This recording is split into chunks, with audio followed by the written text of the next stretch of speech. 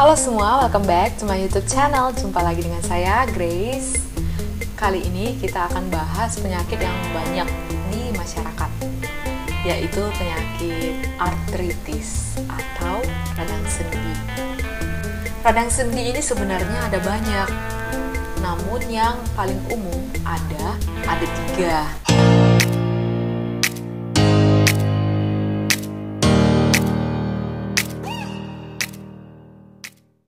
Radang sendi ini sebenarnya ada banyak, namun yang paling umum ada ada tiga. Yang pertama adalah osteoartritis, yang kedua adalah asam urat, yang ketiga adalah rheumatoid arthritis. Kita bahas satu-satu dulu ya. Yang pertama adalah osteoartritis. Osteoartritis ini biasanya terjadi kebanyakan pada orang-orang yang obesitas. Terjadi akibat pengurangan minyak sendi antara dua tulang kita itu sebenarnya ada bantalan. Jadi bantalannya ini habis. Juga ada pecahan-pecahan tulang di situ namanya osteofit sehingga dia dapat bergesekan yang seharusnya jaraknya segini dia jadi lebih dekat gitu ya. Dan ini biasanya terjadi tidak bilateral, tidak keduanya, jadi umumnya satu sisi.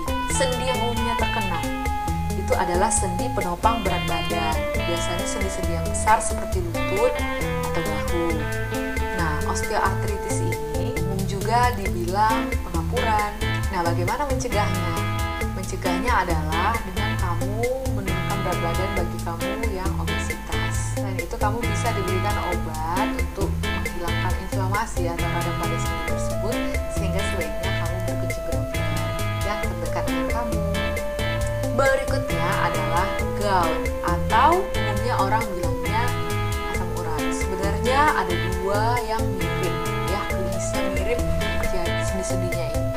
bisa bengkak kemerahan agak hangat dan biasanya agak bengkok-bengkok sendiri terutama sering di ibu jari kaki. Dia punya tanda khas bisa ada tofus ada podagra benjolan-benjolan ini sebenarnya penumpukan dari kristal monosodium urat. Nah ini keras. Dua hal yang mirip ini sebenarnya akibat kristalisasi dari deposisi monosodium urat monohidrat yang ada di persendian kita terutama di bagian perifer atau pinggir. Kenapa di pinggir? Karena biasanya tubuh kita itu yang lebih pinggir suhunya lebih dingin. Jadi terjadi kristalisasi di sana. Satu lagi adalah pseudogout. Sebenarnya pseudogout ini akibat kristalisasi dari uh, kalsium pirofosfat. Gout ini biasanya seperti OA atau osteoartritis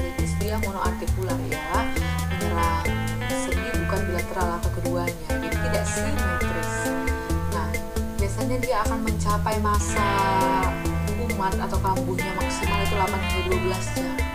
Dan sering orang berpikir bahwa tata laksananya ketika kumat dan untuk menurunkan level asam uratnya itu sama. Padahal tidak. Jadi pada orang yang level asam uratnya tinggi namun dia tidak menunjukkan gejala itu sebenarnya tidak perlu diterapi cukup banyak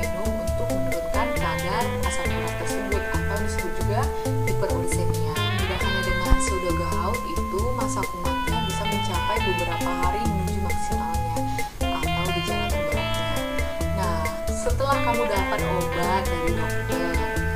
Apa hal yang perlu kamu jauhi dan apa yang tidak perlu dimakan pada asam urat itu adalah pertanyaan yang banyak dilontarkan ya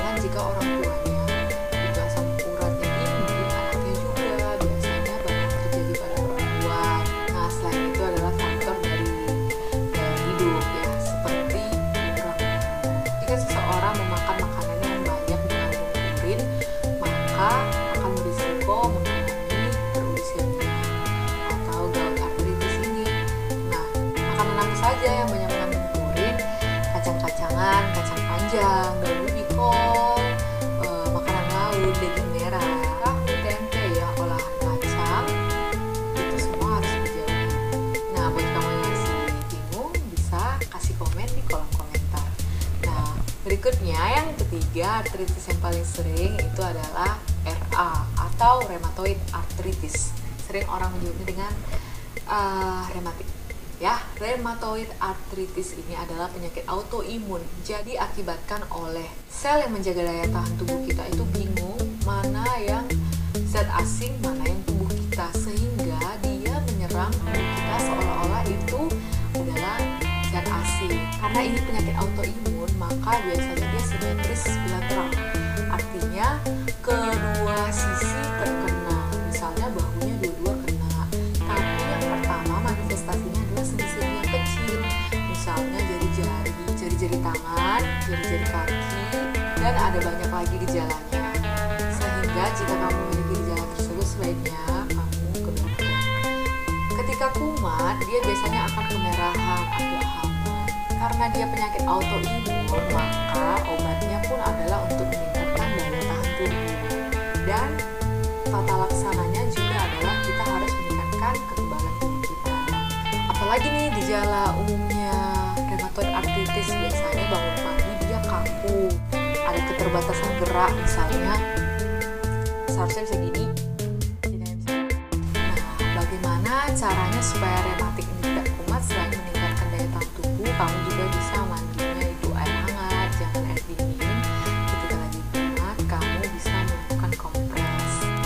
pada sendinya yang nyeri tersebut, kemerahan, bengkak, kamu bisa memberikan kompres air dingin untuk meredakan gejala. Ketika sendi-sendi kamu sudah terkena, bahkan sendi yang sangat mendukung pergerakan kamu, sendi besar, kamu bisa melakukan operasi, yaitu pergantian sendi. Ini dilakukan biasanya oleh dokter bedah tulang. Yap, mungkin itu saja pembahasan kita kali ini. Komen di bawah jika kamu masih bingung atau ada